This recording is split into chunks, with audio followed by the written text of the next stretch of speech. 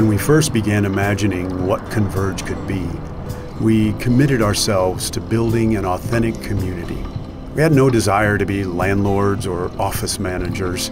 We wanted to curate a space and experience where people really got to know each other, sort of a friendship incubator. Most of us live our lives so full and so fast these days that the bulk of our relationships are maintained online. We seldom take the time to nurture good, enduring friendships. And yet we all want them and need them. Converge is a community first and workspace second.